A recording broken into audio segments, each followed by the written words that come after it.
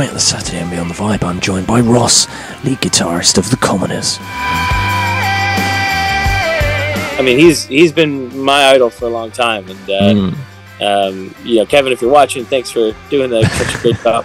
He mixed it remotely, he sent it to us. We got on the phone, we talked about it, and uh, you know, it was just an honor to just to hear the way he interpreted it. And I Mm. think that's the biggest thing about working with someone like him is that you know we know what we want to hear, but when you're this close to it, it's tricky to make the decisions that make sense as a foundation. So Kevin was able to sort of pave that for us and come in and go, "Here's what I would do with this."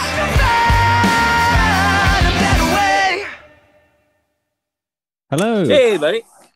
Hey, man. How's How's, it it going? Good man. How are you? Hold on, let me I'm get. doing well, thank you. That's a very fancy uh, backdrop. You're the you're the first one that's kind of outdone mine. Ah, yeah, we got we got a full studio here. I know, right? It's pretty There you go. impressive, man. yeah, thanks, man. Thanks for having me on the thing here. Uh, I'm sorry, it's just me today. Um, I know No, it's cool, man. It's cool. Um, I I was reading up on you. I believe you don't you do mixing for like TV or something and and and film or something. I was reading up on you the other day. Yeah, I'm, I mean, I'm a music producer full time, but like Yeah. my side my side job was I do a lot of post production for uh, for TV as well. So like I, I have an Emmy actually, and we Yeah, won, that's um, yeah. That was the thing I stumbled on, man. I saw the Emmy and I thought, bloody hell, you Yeah. know. I know. Well, it's you know it's interesting because like you know it's kind of hard to to get something like that unless you're working in America. So I do a lot of stuff uh, out of um, the uh, Buffalo, which is like just sort of the closest yeah. American city. So they do a lot of stuff with the Bills and with the uh, the Sabres and all that stuff. So I, I happened to get on a project that, that did something cool. But you know, it's it's tricky as a Canadian to get. It would be hard as a as a, a British citizen too. Yeah, yeah. You know. Yeah, so But, uh, I mean, as you said there, it's um like I'm aware you guys are Canadian, and I thought, how on earth have you managed that? you know, Yeah, like- I got lucky.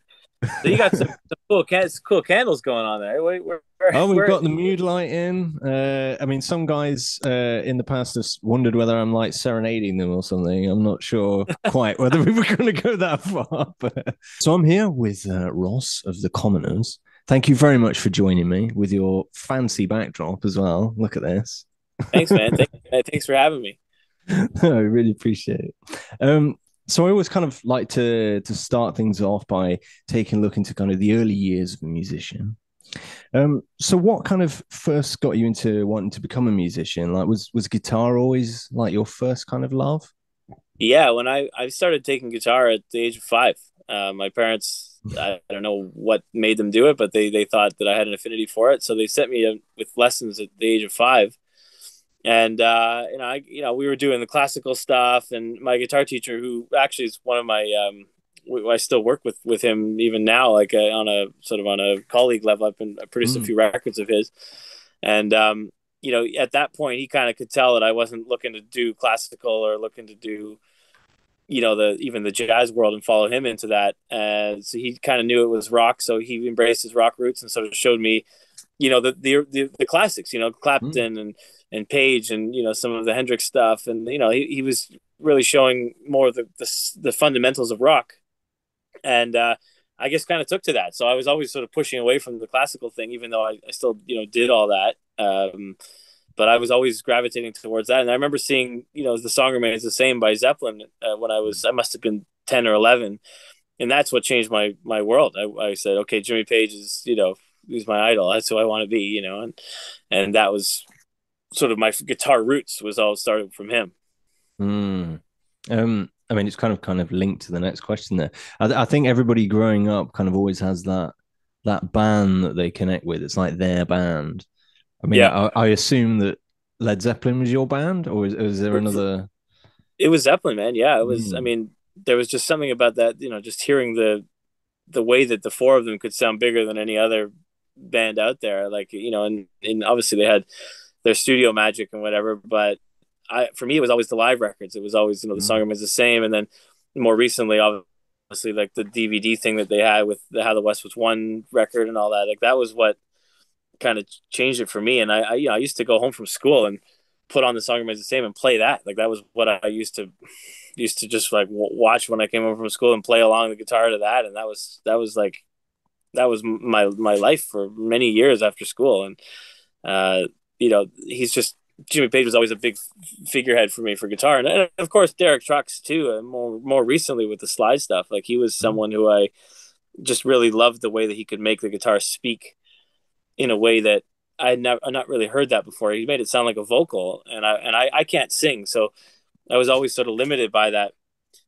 And, you know, and I thought, well, fuck, if I could sing and play you know, guitar in the same vein, it we kind of answer those questions. Why don't you sing? I go, well, I can sing with the guitar, you know, and the slide mm. kind of made that that happen. Mm. I, I, think that's that's the thing with a lot of guitarists I hear. Like they, there are guys that maybe as they were growing up, their their voice has dropped and then they've lost that. But like they yeah. they find ways to kind of make the guitar their voice in in many ways. You know, it's very much a strong character in a band. I think obviously the guitarist is so like yeah. such an important figure. So for those that don't know, um, how did kind of the the whole commoners band and everything get together? Like, was there a a moment? Yeah. So, well, Chris and I, who's not here, uh, I, we we formed the band. Um, we sort of started the thing as a as a project. It was originally sort of his sort of around based around his singer songwriting thing, and then we we sort of realized that hey, we you know we kind of got something with the rock thing, and we we molded that into uh, you know what what would be uh, an, an, iteration of what we have now with the two of us. And then we added ben and then once we had ben as an integral keyboard player and, and sometimes pianist uh, then we found adam and, and that's sort of when all the pieces kind of clicked. We, we found adam and it was like whoa we can you know we can do anything now. We, once you have a drummer and you know i've worked with a lot of bands and when, once you have the right drummer you know you can kind of tell that the, the, band can do something once the the foundation of it is there. So well, once he was in, we were locked, and then um, Miles was was you know he he was playing in some other projects that we had, had been playing with and stuff that I've worked with here at the studio, and and he just seemed like a natural fit that we could bring him in on keys. So he was you know what we consider the fifth member, and uh, as soon as we had this iteration, that's when the record that you hear now is formed, and and you know the the way that we are as a as a unit now is it really couldn't be the same without the five of us. So um, you know this this iteration of us now is what I consider to be the the formation of the band. Mm. Um, did you always kind of when when you guys were you know properly formed? Did you always kind of have that that real clear classic rock sound? I mean, you guys from the, from what I've seen of you, of you lot, uh, you have this real kind of strong identity of like you know where this kind of classic rock but modernized kind of band. What, what we're trying to do now is is really just make music that makes sense to us. I don't think we go out trying to say here's what we want to sound like. I don't think we're saying mm. we want to be a classic rock band or we don't we want to be a, a soul band or a rock band. Like we're we're looking to kind of make the music that makes us move and makes us dance and feel something, you know. And um, you know, obviously bands like the Black Crowes, they kind of have that soul rock thing down. So there's no no doubt that we, you know, em- emulate them in a, in a way. It comes out when you listen to that music. It always comes out in mm. what you're playing. But you know, we're we're consciously trying to to to not just be a classic rock band, or not just be a soul band or whatever. But we're trying to be sort of this this obviously rock and roll as the foundation. But we're trying to be this band that we can sort of cover as many things in that rock world without being pigeonholed into classic rock yeah. necessarily or you know what i mean or blues rock you know well, mm. wow, I think we dabble in all those spots. That was never the focus to be like one genre, you know. Mm. I I think that's kind of the big thing that I I found from listening to you, you know album. It was um like there's not like obviously there's classic rock in there, but as you said, like there's a bit of kind of blues elements in there. It's kind of it's it's like uh, you you've perhaps put all your influences together and put it in a big melting pot. Like there isn't one clear band that I could say right. It's definitely them.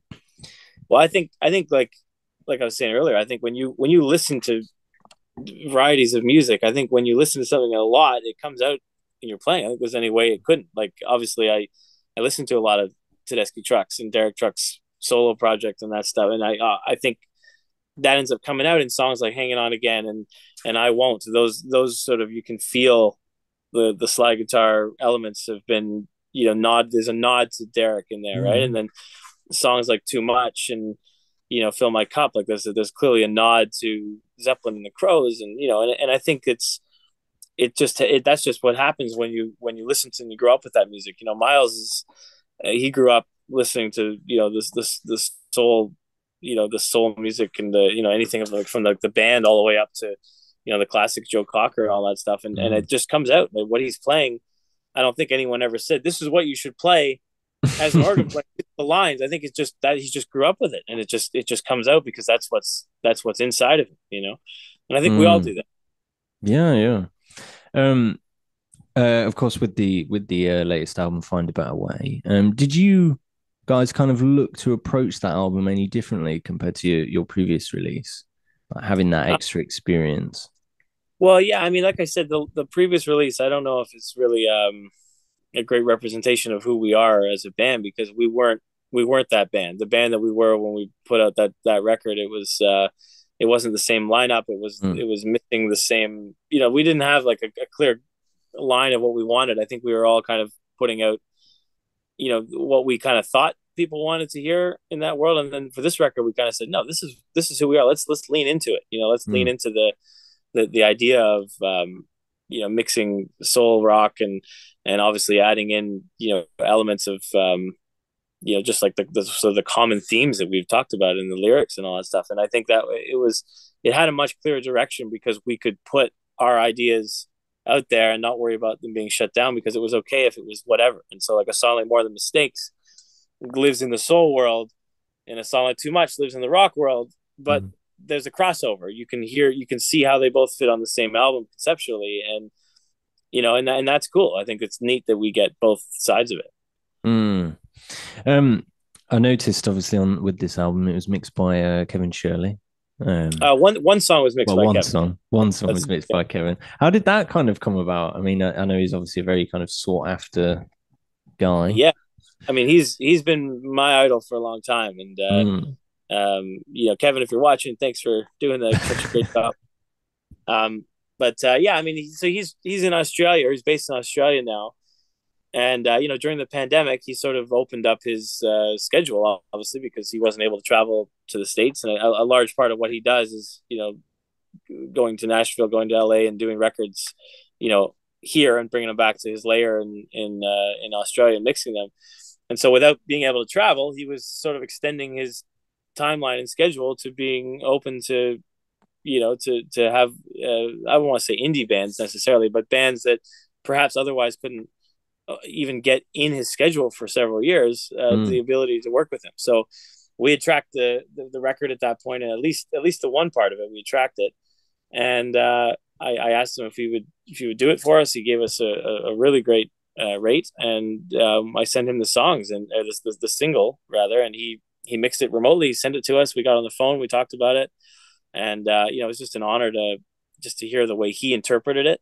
Mm. And I think that's the biggest thing about working with someone like him is that you know, as as the guitar player in the band, and then also the one who mixed it, me and the executive producer uh, Renan, we we mixed the record together, and and you know, we're we know what we want to hear, but when you're this close to it, it's tricky to make the decisions that make sense as a foundation. So Kevin was able to sort of pave that for us and come in and go, here's what I would do with this. Mm. And once he did that, it was easy for us to sort of uh, not even replicate, but use that as a guideline to go, okay, I see what he's thinking the band is. And that's, and he's right. That's what it should be. So he, he sort of said, the band is this. Here's my mix. Here's how I would do it. That's the title track. And then once he sort of paved that foundation, we were able to throw the rest of it, uh, you know, at that mold and um, you know, I think it I think it translates pretty well from track to track, even though you know he's you know at that higher level. Mm. Um, I also got to meet him here when he was in Toronto uh, right before Christmas, and uh, you know we hung out, we had a drink, and we got to hang out. And he, I mean, he's he's a legend for a reason, man. He's he's one of the coolest guys you know out there, and he's just his philosophy on life and the way he thinks about things is just it's that's what that's what makes him good is that he thinks he has a way of thinking that a lot of people can't. Yeah, I think it's experience that gets you there, and he, mm. he's got this. He's got it down. Yeah, I, I was going to say there. It's like uh, you know, it's great to just have that experience figure that can just come in and go right. Okay, I think this. This, exactly. You know, because they've been there, they've done that. You know, that it's just great having that that kind of figure around. Um, exactly.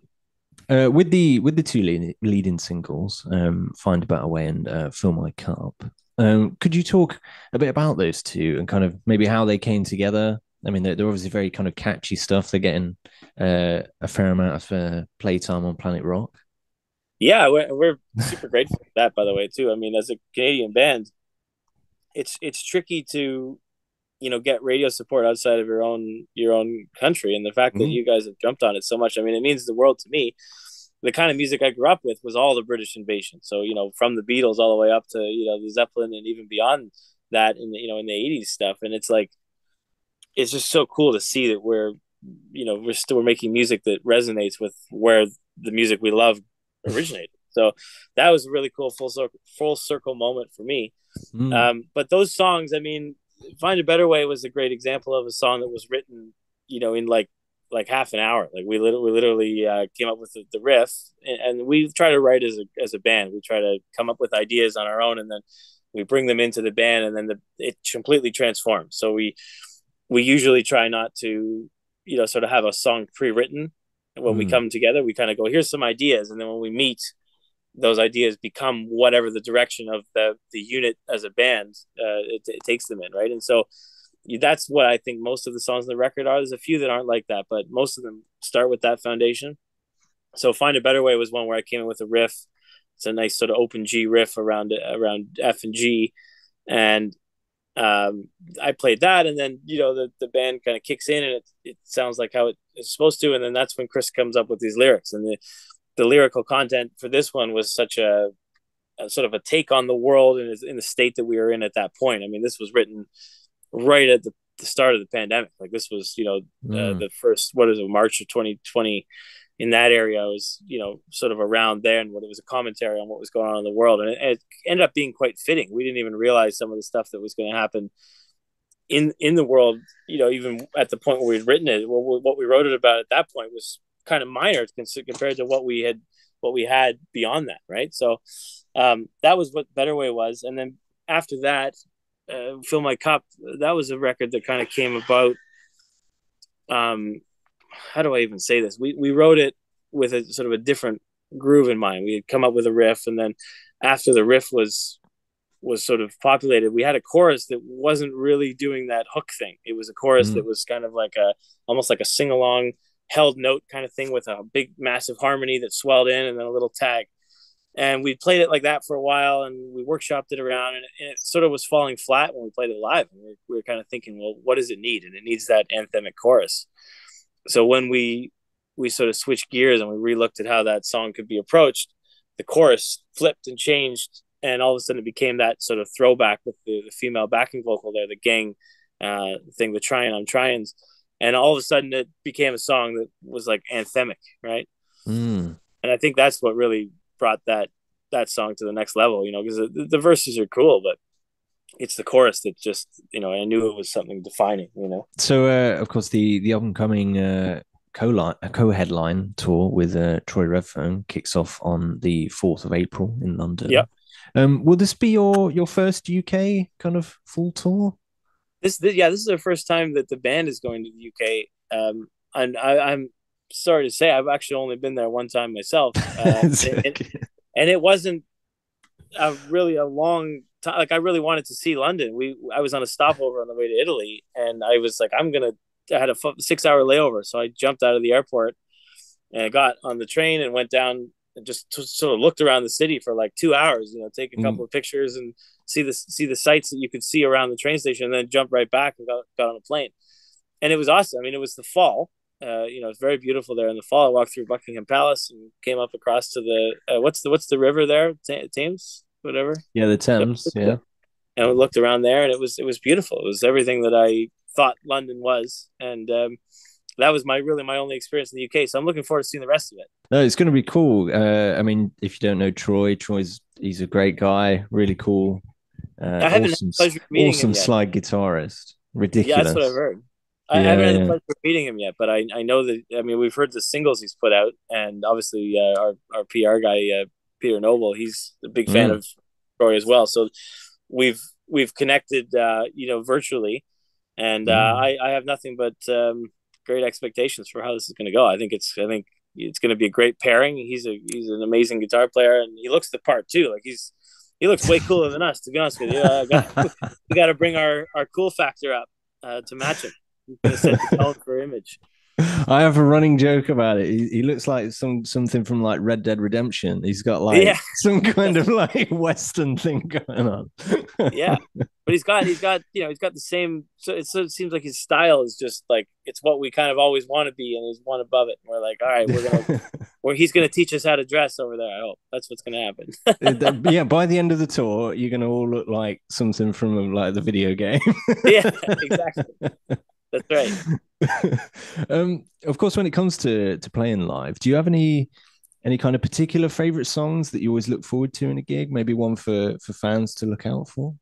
I mean, per- personally, I as a, gu- a, guitar player, I love um, when we get to hanging on again. Um, this is a song that live. I mean, on the record, it's seven and a half minutes or seven and a bit minutes.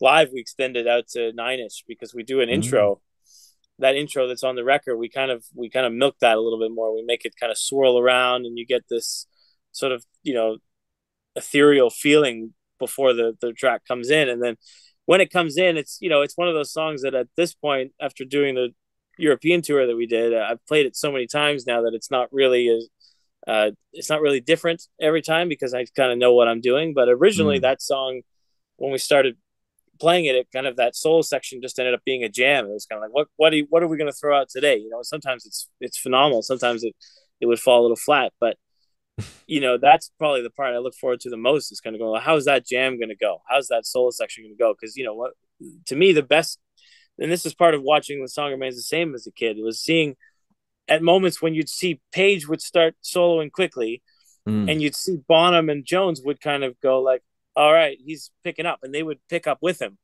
and you'd see that even from the early days, like the Albert Hall shows, uh, all the way up to when you see it in Madison Square Garden, and then beyond that on the on the DVD, and you'll see he, he start to solo, and the band will will catch with him. They'll start ramping with him. Like at the end of Black Dog, you can kind of get a sense mm. of that mm. too when he picks up in the double time over the solo, and it's something that's like a nod. You can tell that they just kind of stumbled on that, and whether that was something they knew that they were going to try and do, and maybe it will work, maybe it won't but like those unplanned things like that that's that's what makes the live show so amazing. It's like it's like what are we going to do? What what's going to come out of it? And you know nine times out of ten i think it's it's better than the record. And and sometimes it's like you know oh well we missed it a little bit there. We'll you know we'll we'll recover on the next one. But but there's magic right? And and when we track the record i try to i try to do it off the floor. And and you know you try to get the band to go down in the moment and capture a moment in time. And that's what's way cooler about you know the old school recording techniques too is that you mm-hmm. you that's how they did everything. All the records that we love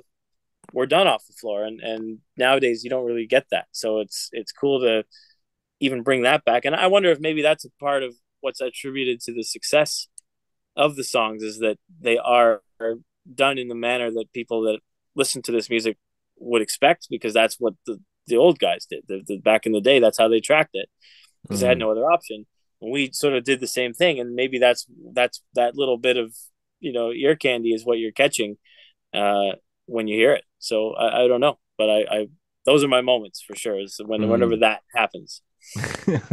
I, I think that's like as an audience kind of uh, member, it's that that's always the stuff that excites me because it, it feels like that's kind of uh even if it is replicated elsewhere, it feels like that's kind of your moment.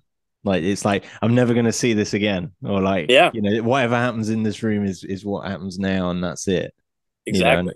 You know, it, it adds that extra magic, as as you say there. We we had a show. This is just a sort of to to make a joke out of that that idea. We had a show before the it was a couple years before the pandemic, so like you know we were still kind of forming the songs as they are now. But we went to mm. play, and for whatever reason, the the bass player Ben, his his bass like imploded on him in the middle of the first song. It just the pickup like fell into the thing, and like I don't know why we couldn't fish it out, and he just literally was unable to play the bass. And uh, you know, we went with well, the opening band we could probably borrow their bass, and of course he was a lefty, so oh, we really couldn't we couldn't do it. So we ended up doing a, a show that was like almost like an acoustic show. It was like sort of the, the lead singer Chris, he was playing guitar. I would sort of join him, and then as the songs would go through, the drummer and the bass player would come up for their respective harmony parts, and then go right back down. So it was a show that we never wanted to do, but the people that were at that show got the most unique experience yeah. that they possibly could have, and and they'll not, hopefully that doesn't happen again. yes. Like that was the only moment where that like he literally the other bass player is like, yeah, you can borrow my bass. Oh wait, I'm a lefty. Oh, I mean, what so, are the odds? Yeah.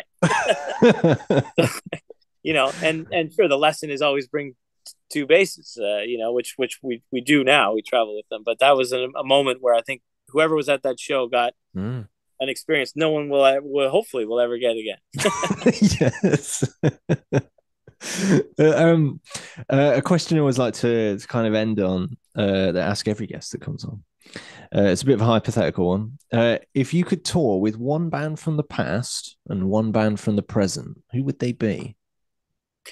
A band from the past, man. I mean, I I think I think I'd like to tour with. This is probably an obvious answer. I, I would like to tour with the Beatles because I would love to mm. see how many how loud those fans actually were in those. yeah, you wouldn't hear them.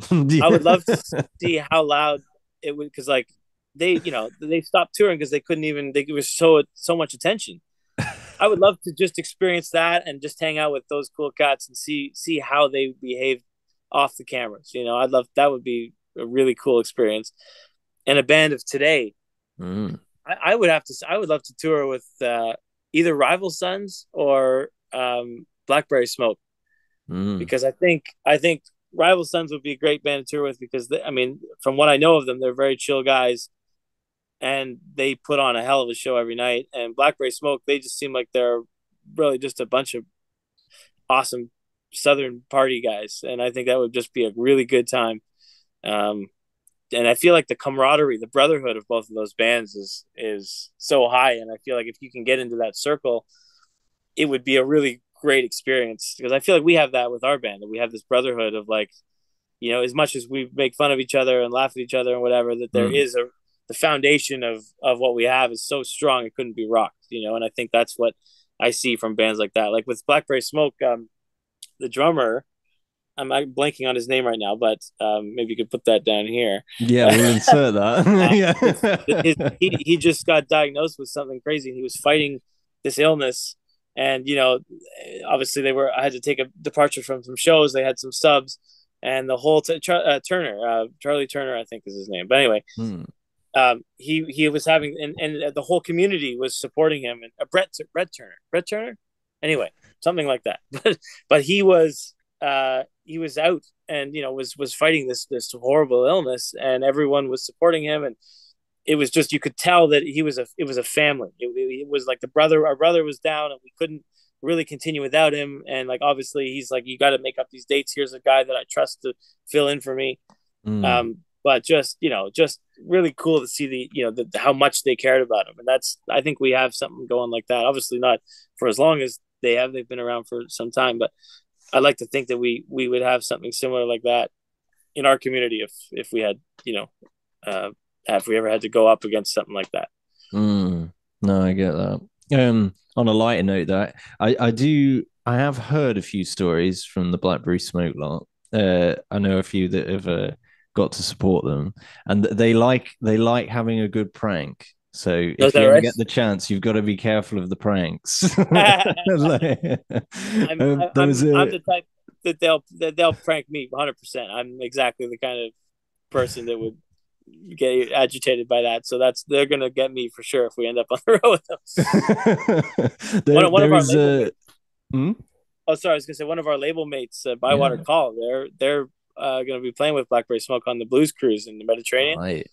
They yeah, be careful. So yeah, well, I'll, I'll, let them know. I didn't know that. there's there's a, a story. Uh, it's a band called Massive, and they on the last night of their support, uh, the Blackberry Smoke lads thought that it would be hilarious to on all over the stage, like on the amps and everything. Uh, they drawed a certain phallic symbol all over the over everything. So they came out to uh, everything just covered in this. That's great. That's phenomenal. So you got to be aware of it. well, you know what? I think it'd be an honor to be pranked by those guys. They're they're, they're the real deal, man. They they know what they know what they're doing. Yeah, yeah, for sure. Um, well, thank you very much for joining me, and uh, of course, uh, the tickets for the the co-headline tour with uh, uh, Troy kicks off on which kicks off on the uh, fourth of April. that's uh, available in the link in the description below. And of course, if you want to go and stream or purchase the the uh, the record, um, it's available as well in the link in description. Thank you very much, and uh, thank you, man. It's cool, man, and um, I'll, I'll be there last night of the the oh, tour as well. So great. I'll be in Nottingham. Oh, Robin amazing. Hood country. So okay. uh, Robin, that's right. yeah. Make sure you come. You know Robin Hood, you'll know that one. oh, I love Robin. Are you kidding? Well, we've we've probably um, uh, seen the Americanized version of it. I want to. I'm interested in the the original. That's what yeah. no, no Kevin Costner here. that's right. not not quite as glamorous. yeah, that's right. Well, we want. That's what I love. That. That's that's great. Yeah, please come come say hi to us. We'll. Uh, we'll yeah, man. Great. Yeah, yeah. I'll I'll come down. We'll say hi. We'll have a have a drink or something. It'd be cool.